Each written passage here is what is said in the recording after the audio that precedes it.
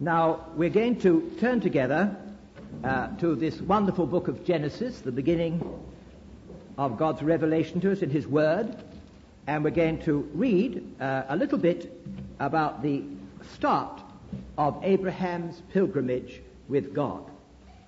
Will you turn to Genesis chapter 11? This, we call these Bible readings and we read the Bible. And uh, if we don't remember what the speaker may say, we've got the foundation of it all within the pages of the sacred book and we can turn back again to it. Genesis, Genesis 11, 27. Now these are the generations of Terah. Terah begat Abraham, Nahor, and Haran. And Haran begat Lot, and Haran died before his father Terah in the land of his nativity in Ur of the Chaldees. And Abraham and Nahor took them wives. The name of Abraham's wife was Sarai, and the name of Nahor's wife Milcah, the daughter of Haran, the father of Milcah, and the father of Iscah. But Sarai was barren. She had no child. And Terah took Abraham his son, and Lot the son of Abraham his son's son, and Sarai his daughter-in-law, his son Abraham's wife, and they went forth with them from Ur of the Chaldees to go into the land of Canaan. And they came unto Haran and dwelt there. And the days of Terah were two hundred and five years, and Terah died in Haran. Now the Lord had said, had said, not when he got to Haran, but when he was in Ur of the Chaldees, now the Lord had said unto Abraham, Get thee out of thy country and from thy kindred and from thy father's house unto a land that I will show thee. And I will make of thee a great nation, and I will bless thee, and make thy name great, and thou shalt be a blessing. And I will bless them that bless thee, and curse him that curseth thee. And in thee shall all families of the earth be blessed. So Abraham departed as the Lord had spoken unto him. And Lot went with him, and Abraham was seventy and five years old when he departed out of Haran. And Abraham took Sarai his wife, and Lot his brother's son, and all their substance that they had gathered, and the souls that they had gotten in Haran, and they went forth to go into the land of Canaan, and this time into the land of Canaan they came. And Abraham passed through the land unto the place of Sichem, unto the plain of Moreh, and the Canaanite was then in the land. And the Lord appeared unto Abraham and said, Unto thy seed will I give this land. And there builded he an altar unto the Lord, who appeared unto him. And he removed from thence unto a mountain on the east of Bethel, and pitched his tent, having Bethel on the west, and Ai on the east. And there he builded an altar unto the Lord, and called upon the name of the Lord. And Abraham journeyed, going on still toward the south. And there was a famine in the land. And Abraham went down into Egypt to sojourn there, for the famine was grievous in the land. And it came to pass when he was come near to enter into Egypt, that he said unto Sarai his wife, Behold now, I know that thou art a fair woman to look upon.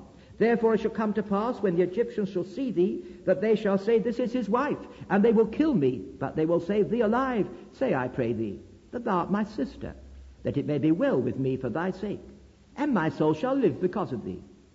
And it came to pass that when Abraham was come into Egypt, the Egyptians beheld the woman that she was very fair. The princes also of Pharaoh saw her and commended her before Pharaoh, and the woman was taken into Pharaoh's house. And he entreated Abraham well for her sake. And he had sheep and oxen and he asses, men servants, maid servants, she asses, and camels. And the Lord plagued Pharaoh and his house with great plagues because of Sarai, Abraham's wife. And Pharaoh called Abraham and said, What is this that thou hast done unto me? Why didst thou not tell me that she was thy wife? Why saidst thou she is my sister? So I might have taken her to be to be to me my wife. Now therefore behold thy way, wife, take her and go thy way. And Pharaoh commanded his men concerning him, and they sent him away, and his wife and all that he had. And Abraham went out up out of Egypt, he and his wife and all that he had, and Lot with him into the south. And Abraham was very rich in cattle, silver, and gold. And he went on his journeys from the south, even to Bethel, unto the place where his tent had been pitched at the beginning. between Bethel and Ai, unto the place of the altar which he had made there at the first, and there Abraham called on the name of the Lord. You and I, if we've become Christians at all, are called supremely to a life of faith. We began the Christian life by receiving the Lord Jesus and his salvation by faith. And if we're going to go on with him, you and I are going to go on by faith. And in this pilgrim journey that we have embarked upon, I'm going to suggest to you that nearly all the biggest transactions that will take place between us and God are going to be transactions of faith. Now, the story of Abraham is perhaps the supreme illustration in the whole Bible of the life of faith. He was supremely the man of faith. But only because he had to be. God put him in circumstances and embarked him on a course which involved him in becoming a man of faith. If he didn't become that, he would crash and sink.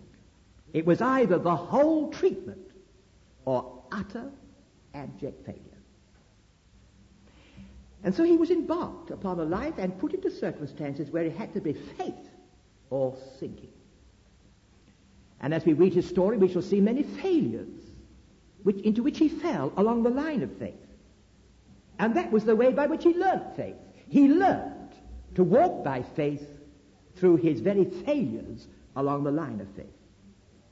If you can list, and you can, all the steps of faith and the surrenders of faith that Abraham took, you can also make a list of the failures along the line of faith into which he fell.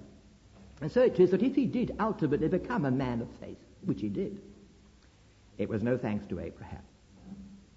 Abraham became what he was only by the grace of God, and the grace of God worked in him through his failures. And that is true of us. If God wants you and wants me to be a certain sort of person, He's going to put you in circumstances and call you to a course of life where you simply got to be that sort of person or completely crash. If he wants you and me to become men of faith, which he does, he'll put you in a situation where you simply got to become a man of faith.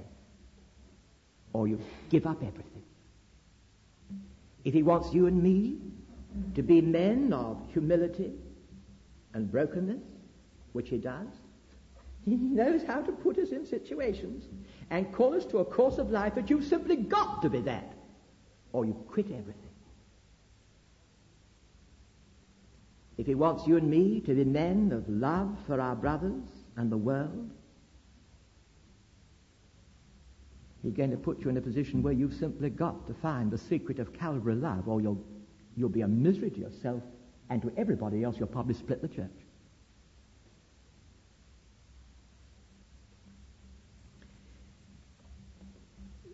And of course, in the course of learning what God wants us to learn, like Abraham, there are bound to be many failures. But that's the simple way by which God is going to teach us faith, brokenness, love, and everything else. So if ultimately we become what God wants us to become, it's going to be no thanks to us. We weren't naturally men of faith. Abraham wasn't naturally the man of faith at all. It was God who made him such by putting him in a situation where he had to become that or sink completely. And so it is for us. And we shall have to say, ultimately, when people say, oh, I don't know, I, I see this and that, and you say, by the grace of God, I am what I am. You little know how that's the very thing I failed on. I had to come back and back again. And as we do so, grace ultimately makes us to be the men and women that God wants us to be. Now, I call that encouraging, don't you? There was nothing innate in Abraham that he should become this. The author of the whole thing was God himself. He would tell you, a believer, a man of faith, oh, why, why, failures. He did. He had some ignominious failures, classic failures, in process of becoming what God wanted him to become. So let's be encouraged as we, we find ourselves perhaps sometimes failing. It's all part of the process of you learning, me learning what is going to make us and cause us to learn and to become. Now, before going further to look at Abraham, uh, to look at Abraham's life and his course, I want to take a minute to look at Abraham's place in divine history. We shall never understand the Bible at all, I think, until we realize that there's a golden thread running right the way through the Bible, and all the rest of the Bible, its teaching and incidents, are simply beads upon that thread. If you don't see the thread, you won't see the connection between bead and bead. What is the golden thread? Where does it begin? Well, it begins in Genesis 3.15,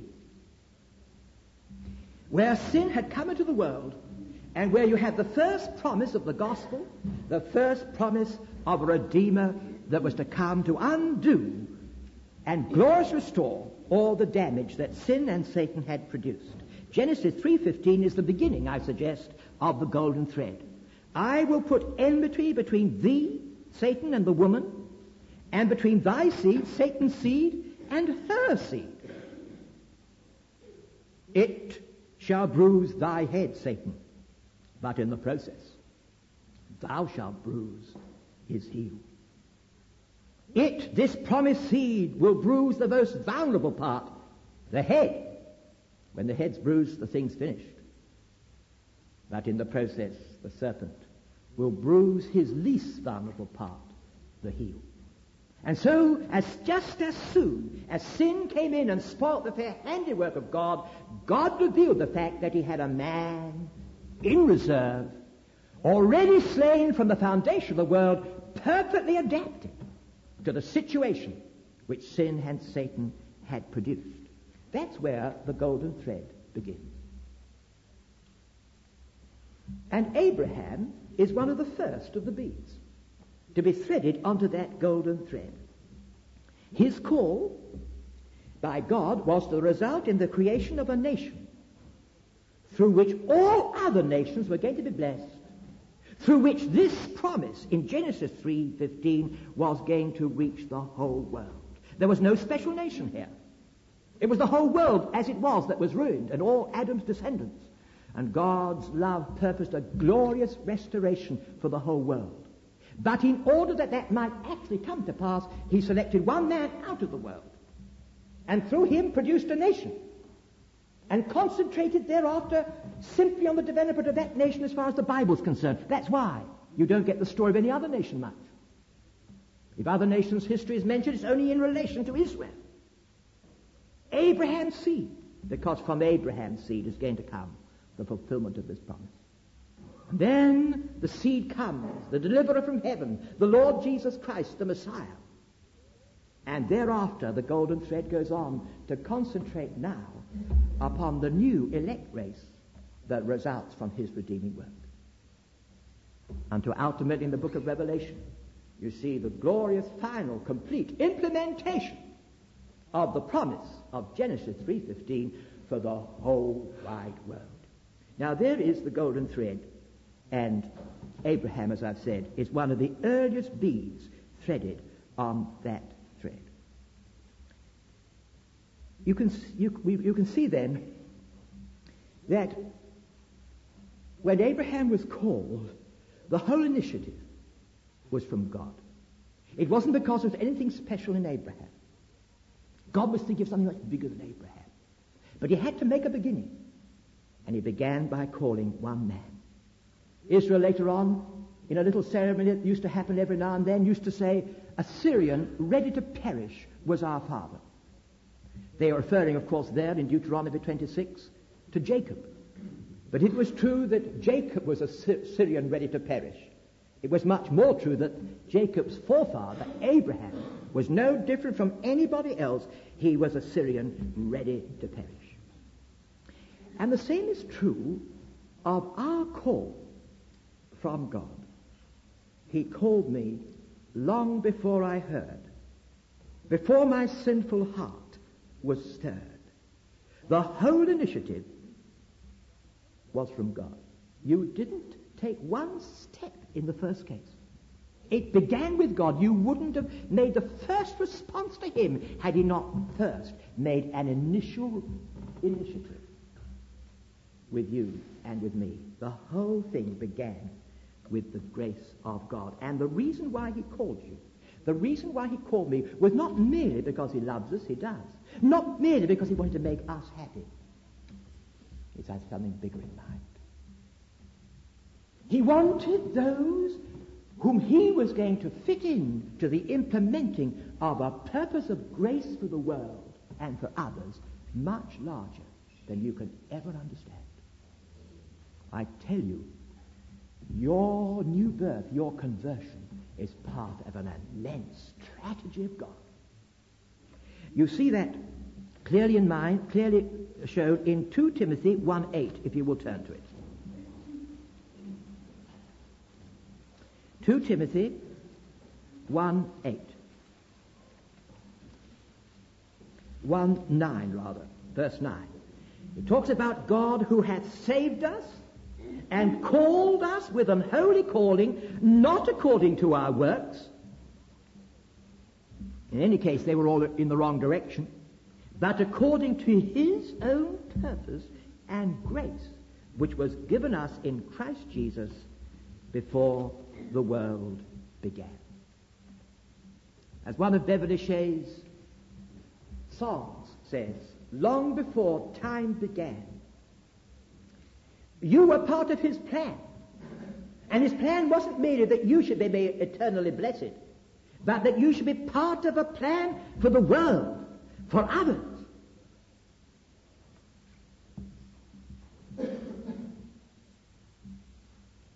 That was the case of, with Paul. God had the plan that the gospel should go to the Gentiles. You would have thought, well, now who we got on our hands? Who's been converted already? You see, he had quite a bunch who'd found the Lord by that time. No, he said, I'm going to have that man who's opposing me. And the plan was made, the blueprint was complete in God's mind. Indeed, way back before the foundation of the world. And the day when God called Paul on the road to Damascus. It was simply the first step in the implementing of an eternal plan. Think of it. You by your name, me by my name. Roy Hession. As a young fellow of 18, after meeting in a camp, walking up and down the sea front, having re- resisted Jesus for 12 months, and at last opening the door and let him come in, with all with a purpose in view. And the same is true. Oh, this marvelous God that designs extraordinary, glorious, thrilling purposes for each of his children, not merely for their blessedness, but for the work to which he calls them. And the very day that Paul was converted, he was it was intimated to him that he was a chosen vessel to bear his name.